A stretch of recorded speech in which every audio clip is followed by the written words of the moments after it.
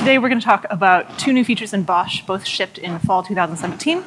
One of them is BOSH package vendoring, uh, which is modular BOSH packages, and um, collocated errands. Oh gosh. None of that is switching slides, is it? There we go. Um, I'm Maya Rosecrance. I am the anchor of the PCF Redis tile. And hi, ooh, hi, I'm Maria. Uh, until recently in the PCF Redis tile as well, a software engineer for Pivotal. I'm currently on the team that makes uh, contributions to open source Kubernetes. Uh, all right, so just before we start, could we please have your attention for a quick mandatory um, fire safety announcement? Please note the locations and the surrounding emergency exits and locate the nearest exit sign um, next to you. In the event of an alarm, please calmly exit to the concourse area. Uh, stairwells leading to the outside of the facility are located along the concourse. And for your safety, please follow the directions of the public, public safety staff. Cool.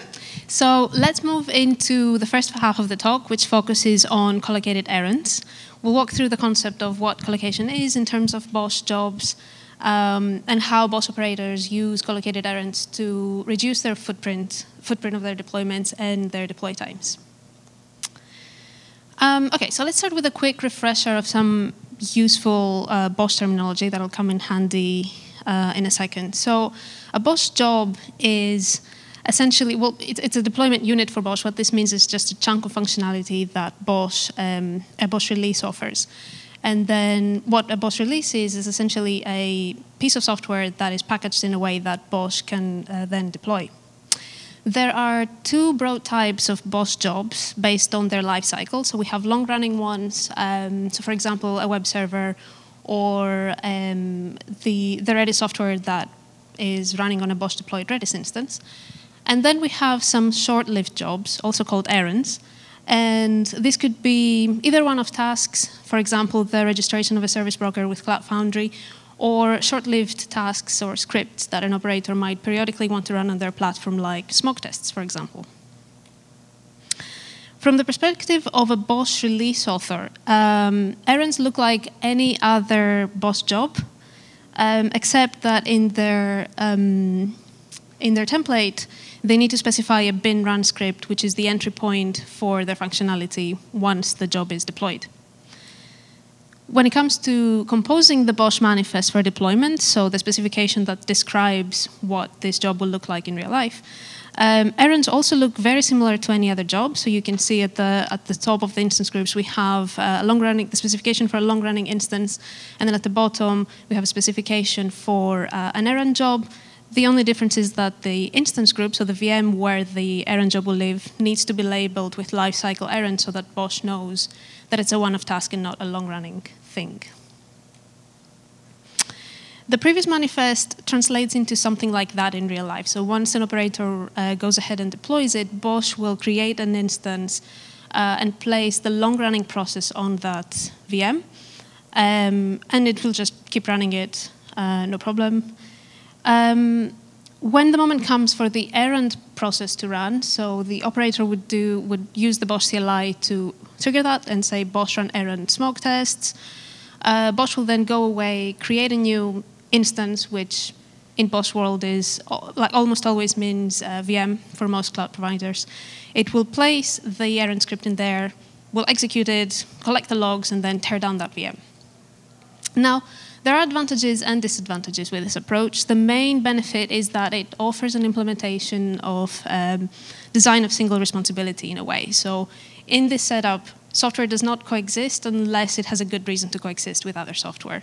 So that gives us isolation, which in turn gives us um, very interesting things like security and making sure that uh, processes do not pollute each other in a way. On the flip side, it's very common for errand scripts to take a few seconds or maybe up to a minute to complete. Uh, on the other hand, creating a VM on most infrastructures takes about five minutes or so, um, and is also subject to minim, uh, minimum um, costs at the infrastructure level.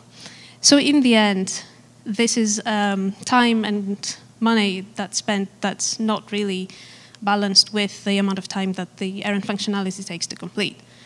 Uh, and five minutes may not sound very much, but when we're looking at running those scripts periodically, or when we're looking at upgrading a big deployment like a Cloud Foundry installation with many releases supporting it, um, then that ends up adding up hours to the process. So then this is the problem that collocation of errands comes to solve. So the main concept here is that um, the errand job stops being placed into its own VM and instead moves into uh, a, VM, instance with a, another pre-existing job. It doesn't get executed until the right time comes, but there is a copy of the script there. So that way, BOSH does not create a new VM, it just um, creates a copy of the script on that pre-existing instance. Um, once the operator decides that it's time for the, um, for the errand script to run, they would go ahead and run BOSH run errand tests. And you might have noted that the uh, argument for run errand has changed. We'll talk about that in a second. And then BOSH will go away, find out the job call tests on every instance group where it's located it, execute it, and then go on from there.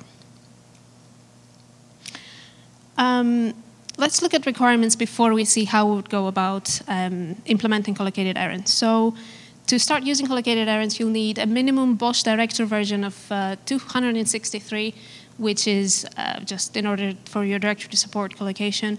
Uh, a minimum version of Linux stemcells of 3445 and above, just so the BOSH agent supports the collocated errands on the instance side of things. And then a BOSH CLI of 2031 and above for the um, increased granularity at the BOSH CLI level all of these were released, I believe, around August 2017 last year, so uh, they're fairly mature by now. Okay, so let's look at what needs to change from the current approach and what stays the same um, for all parties involved in a way. So for the release author side of things, in most cases, nothing much needs to change. So they would still write a BOSH job the way they used to. They still need a bin run uh, script. Um, so most, in most cases, it's just completely transparent to them. As far as the composition of the manifest is concerned, and that could be either by a human operator or by uh, the system that composes the manifest, uh, you'll notice that the job moves from its own instance group to another instance group that contains other jobs. Um, okay, so there are, again, good things and bad things about this approach. Uh, there are some obvious benefits in terms of time savings and Obviously, smaller footprints means lower costs, which is all good. But it is also a more elegant design for a very specific use case. So in the past, there were deployments where an instance is, they would have a specific instance with responsibilities to reach out and perform a task on many other instances of the deployment, but not the deployment as a whole. So something like that, really. A very common example is health checks. So we would have an instance that gets configured with a bunch of endpoints and a bunch of credentials for those endpoints and would reach out to each and every one of them and run a specific um, health check or cleanup script or whatever else. Um, this now, with collocated errands, can be converted to an architecture that looks a little bit like this. And what that means is that each and every one instance now has the logic on itself to perform these things um, independently, in a way. The flip side, um, and things that places maybe where collocated errands do not make as much sense, the main concern here is isolation. So as far as BOSH is concerned, uh, a collocated errand is just a process, another process on that um, instance. So at the very minimum, it's worth taking a step back and considering what is the risk here for me when I'm collocating an, er um, an errand script with another long-running and maybe business-critical piece of software on my VM. It can be security. So for example, I might need to consider, do I need to change my access? Do I need to think about the data on the VM? Um, it can also be considerations around pollution, for example. So when errands were not collocated, you would have a brand new VM to run your errand script on, and then when the errand finishes execution, all logs and things will be taken away and the VM stripped down. That's no longer the case, so it's worth considering you know, what side effects do I have, what sort of logs remain on, on my VM, etc.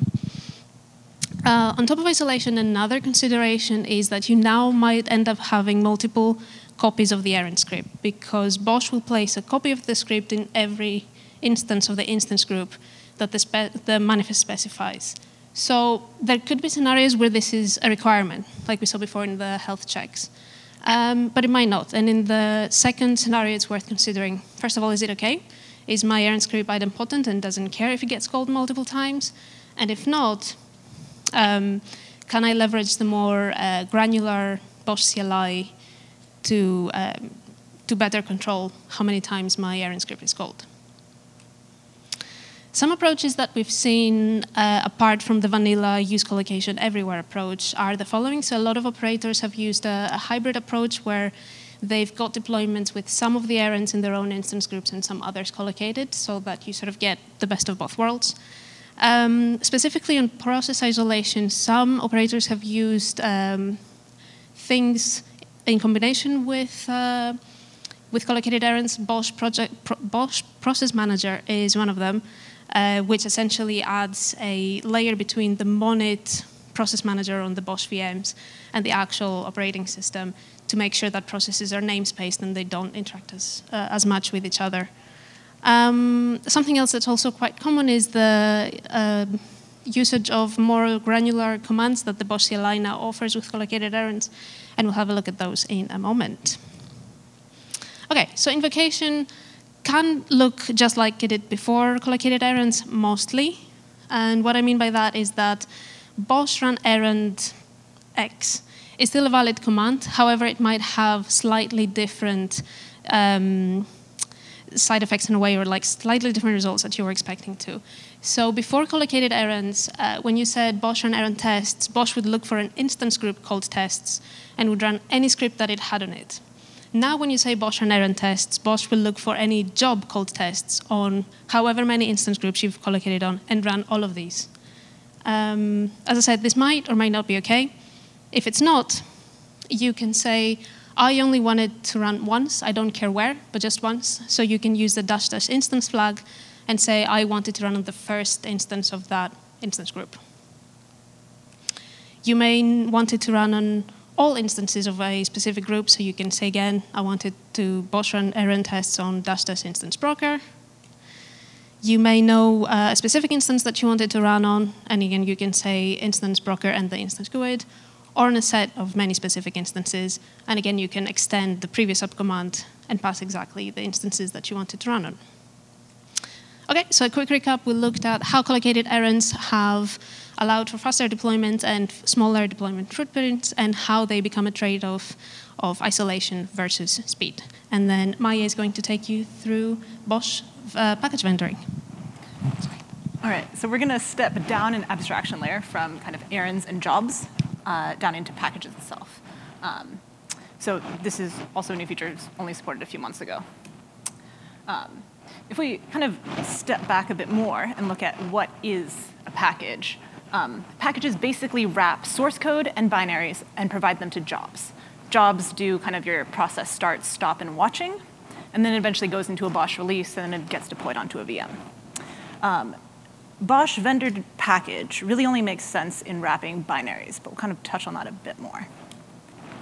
Um, before the benefits of vendor packaging really become apparent, it's kind of good to contrast it with what the existing flow is. Um, so to start with, if you want to pull something like Golang into your release, it's a multi-step process, and you kind of walk through it pretty quickly. So download Go, you're going to add it to your release, then you upload it. At this point, you have a um, uh, blobs.yaml and a final.yaml that points to where in the blob store this thing lives. Uh, typically, this is off your computer somewhere, but it can be local. Um, and then you have to actually provide it to your jobs. So running this command generates this tree of files, and then you populate it. Um, your spec file will specify any sort of compile time dependencies uh, and the files that will be actually included in your package.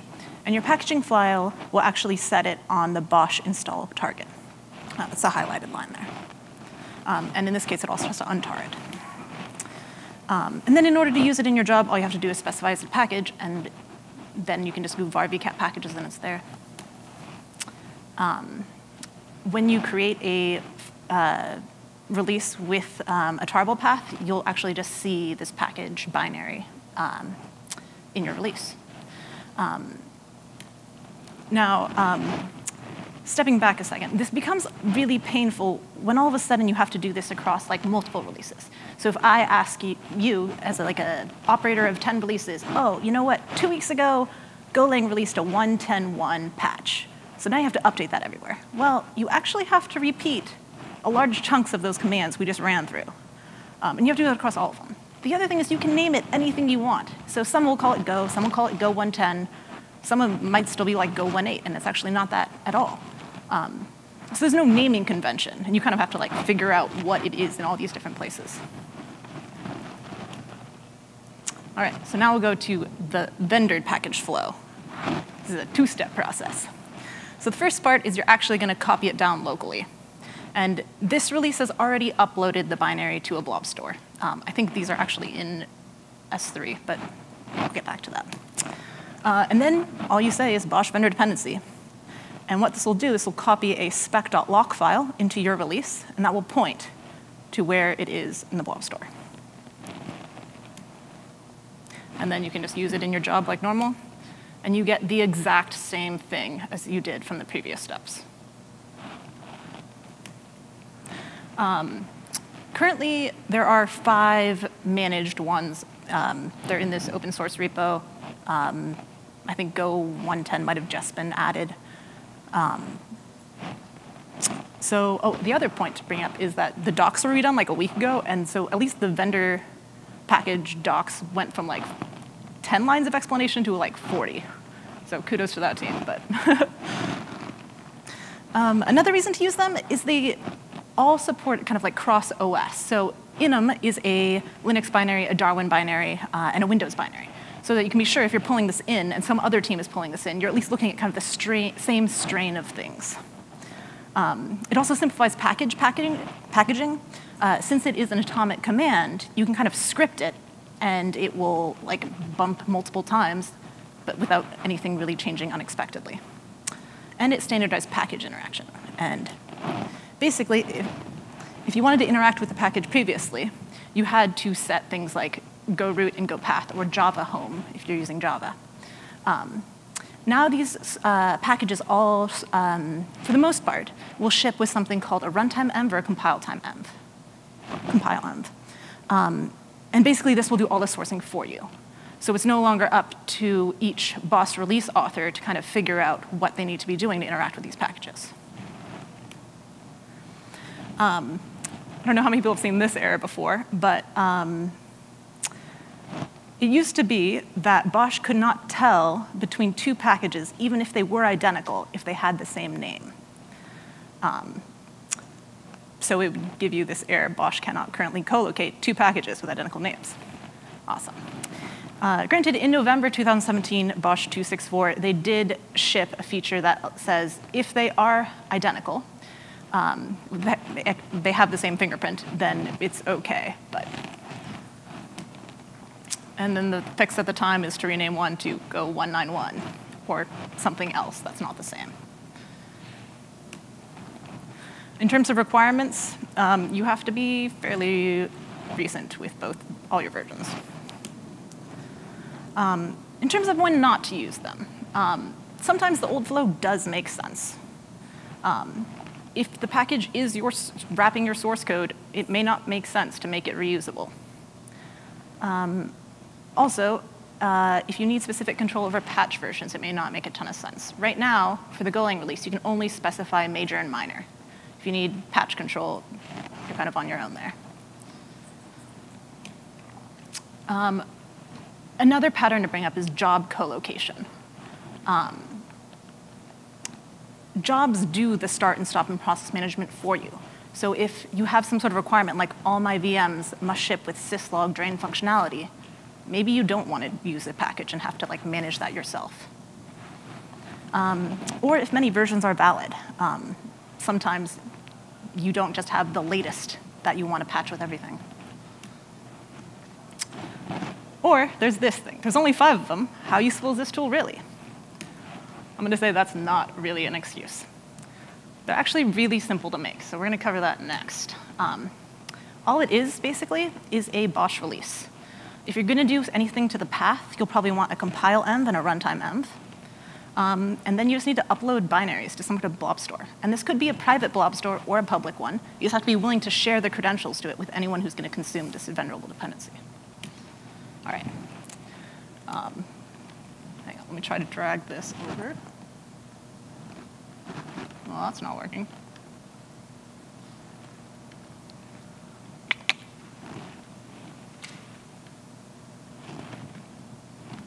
No?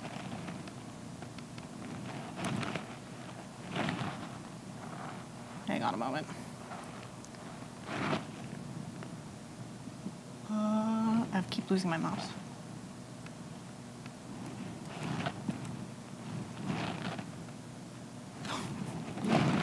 Sorry about this. All right. Well, I can't see what I'm typing, so I hope this goes well. I'm actually using a tool called Do It Live, so it doesn't really matter what I type as long as I can explain what's going on. All right. Actually, do you mind just typing as I? Okay.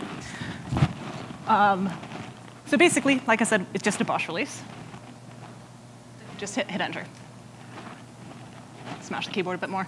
These are executing live, by the way. They're just, um, keep going.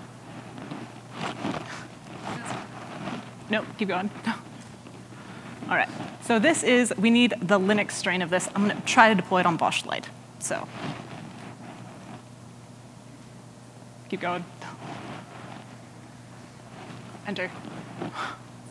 Keep going. So, uh, um, you, this kind of looks familiar because this is the exact same flow to add a blob like you would nor normally do.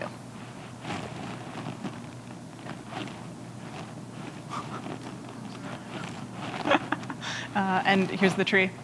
Um, so this is a little awkward. Uh, keep going. Um, basically, I'm just making the Ginkgo binary executable and adding it into my BOSH install target.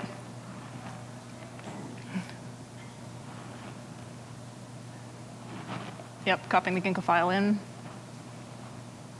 And then saying I'm going to use a local blob store for now. Upload it. And uh, you are required to create a release. All right, and that is literally it. Granted, I probably shouldn't have called it Ginkgo. I probably should have called it Ginkgo Linux, because that what it really is. Um, and maybe I should have included a runtime env, because ultimately, Ginkgo is going to be a little better to interact with if it's already on the path. Um, oops. And what I wanted to demonstrate is, is that the vendor package command? I do that. And all of a sudden, I have a spec file lock, and it points to my release. And that's it. um, all right. Um, in conclusion, can I switch slides?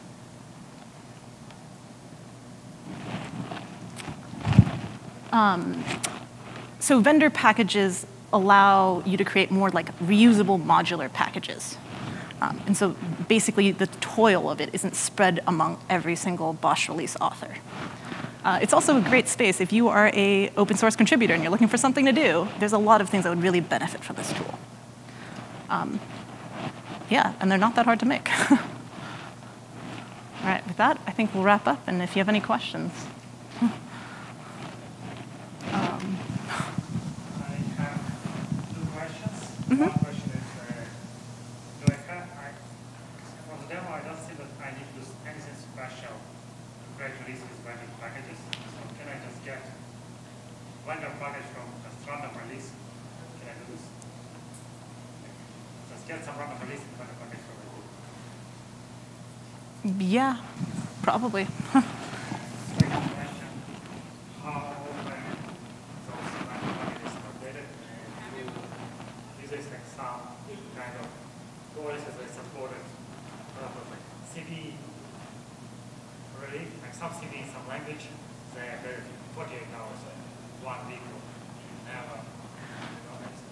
so I don't actually know who maintains them. I know the CF, the CAPI team, I believe, manages the CF CLI binary. Um, I don't know how up to date they keep it. The Golang, I know it took like a week or two to actually ship, but I don't know if that would change with the CVE. Yeah. I believe, however, they are sort of open source in a way. So if, if it's something that folks are, if, if there are requirements in terms of maintenance, like anybody can PR and, and contribute the latest. But they're not, as far as I know, they're not officially supported at the moment, at least. You basically can't PR because you support low slope. Yeah. Or, I mean, you could point it to your blob store. Any other questions? So I'm curious about the uh, deployment locks for um, errands. Uh, how is the deployment lock controlled? You know, I know one thing that is kind of painful today is you can't run multiple errands at the same time uh, on the same uh, deployment. Uh, it would be really fantastic if you could do that, but is that has anything changed in that uh, regard?